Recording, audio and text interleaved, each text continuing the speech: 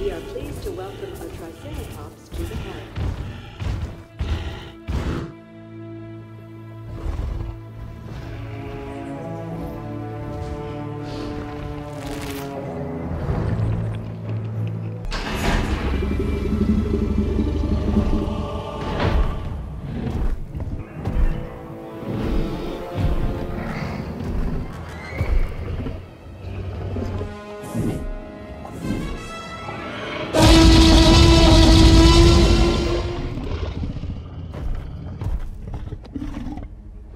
gentlemen.